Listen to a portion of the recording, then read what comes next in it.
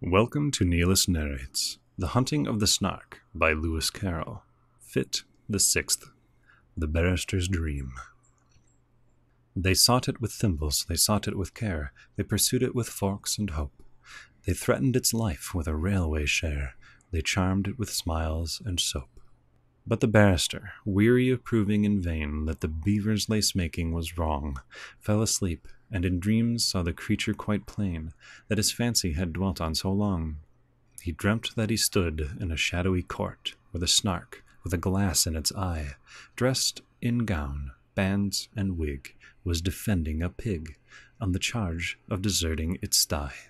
The witnesses proved without error or flaw that the sty was deserted when found, and the judge kept explaining the state of the law in the soft undercurrent of sound.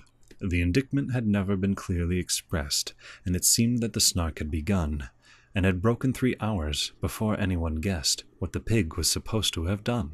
The jury had each formed a different view long before the indictment was read, and they all spoke at once, so that none of them knew one word that the others had said.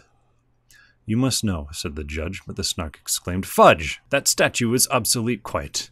Let me tell you, my friends, the whole question depends on the ancient manorial right. In the matter of treason, the pig would appear to have aided but scarcely abetted.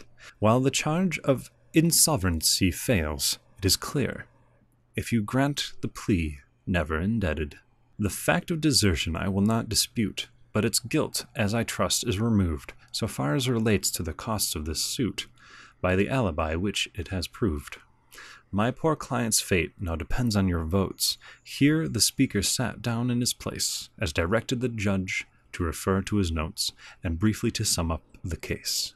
But the judge said he never had summed up before, so the snark undertook it instead, and summed it so well that it came to far more than the witnesses ever had said. When the verdict was called for, the jury declined, and the word was so puzzling to spell but they ventured to hope that the Snark wouldn't mind undertaking that duty as well. So the Snark found the verdict, although, as it owned, it was spent with the toils of the day. When it said the word guilty, the jury all groaned, and some of them fainted away. When the Snark pronounced sentence, the judge, being quiet, too nervous to utter a word, when it rose to its feet, there was silence like night, and the fall of a pin might be heard. Transportation for life was the sentence it gave, and then to be fined forty pound. The jury all cheered, though the judge said he feared that the phrase was not legally sound. But the wild exultation was suddenly checked when the jailer informed then, with tears, such a sentence would not have the slightest effect, as the pig had been dead for some years.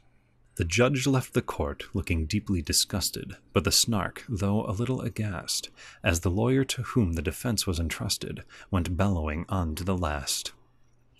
Thus the barrister dreamed, while the bellowing seemed to grow every moment more clear, till he woke to the knell of a furious bell, which the bellman rang close at his ear.